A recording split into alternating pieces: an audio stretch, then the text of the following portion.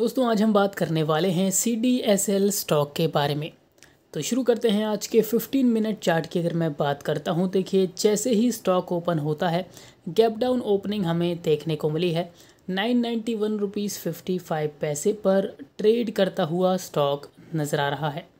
वहीं three hour chart की अगर मैं बात करूँ, यहाँ पर सेम रेंज में ही लगभग ट्रेड करता हुआ स्टॉक नज़र आ रहा है। यहाँ पर साइडवेज की तरह बिहेव कर रहा है।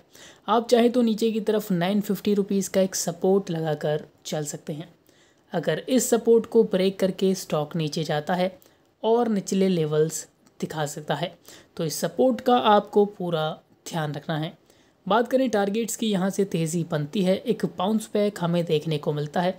तो देखिए, आने वाले ट्रेडिंग सेशंस में जो टारगेट स्टॉक अचीव करेगा वो हैं one thousand fifty eleven hundred तक के टारगेट्स भी अचीव हो सकते हैं। तो अगर आपके पोर्टफोलियो में सी डी एस एल शामिल है कंटिन्यू होल्ड करें। यहाँ पर अभी फ्रेश बाइंग को अवॉइड करें। केवल वेट एंड वॉच की स्ट्रेटजी अपनाकर चल सकते हैं। देखिए, जैसे ही बाइंग का शानदार मौका बनता है, हम एक वीडियो ज़रूर बनाएँगे। तो यही स्ट्रेटजी आपको अपनानी है सी टी एस एल में।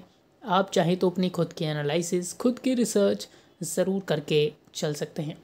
तो वीडियो देखने के लिए आपका बहुत बहुत धन्यवाद।